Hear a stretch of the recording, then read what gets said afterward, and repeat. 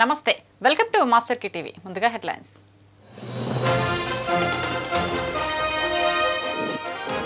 ప్రజలకు మెరుగైన వైద్యం అందించడానికి కృషి. ఆడిటోరియంను ప్రారంభించిన మంత్రి బాలినేని శ్రీనివాసరెడ్డి.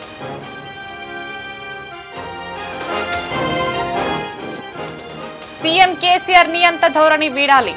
దేశ ప్రజలకు క్షమాపణ చెప్పాలని ముఖ్యమంత్రి డిమాండ్.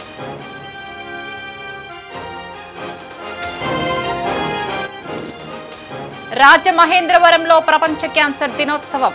ప్రజలకు రోగ నిర్ధారణపై అవగాహన కార్యక్రమం.